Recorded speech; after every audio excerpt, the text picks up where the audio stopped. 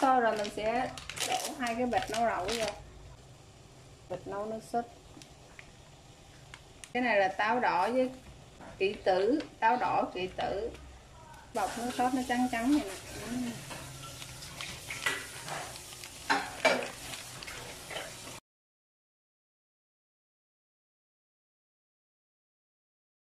Bọc bột tôm dâm thì nó như vậy.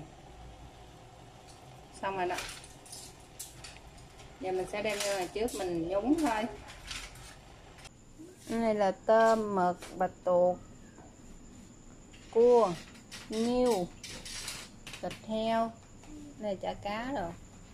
Này là cá hồi rau cái bịch đó là tàu hũ ki với mì. Bây giờ mình sẽ bắt đầu nấu lẩu nha.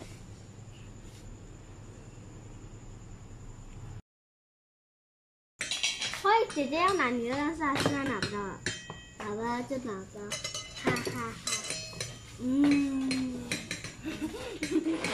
拜拜。眼睛辣了，嗯，没下家，眼睛很辣。爸爸，你有这句话看着你来的嘛？他讲，他讲你教我。阿威，哎，你吃吃这个好吃吗？刚买来的辣椒。công rồi đó Giao sư phụ lát đi nè Giao sư mãi rồi Đang thăm được chứ.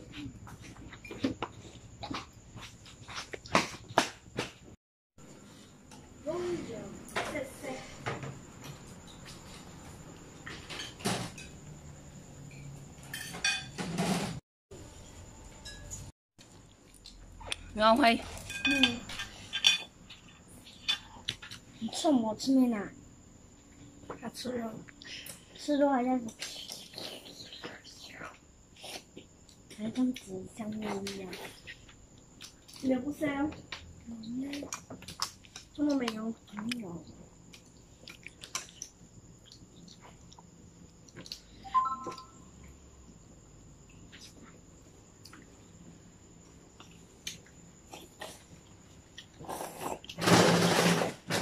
下雨跑步啊。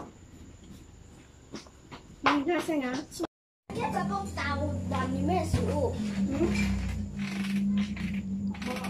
宝宝宝呃那些你哇哦我能进去吗好吃吗谢谢我想要。吃烤没录这频呢你跳舞。tao mới đầu 别别别别别。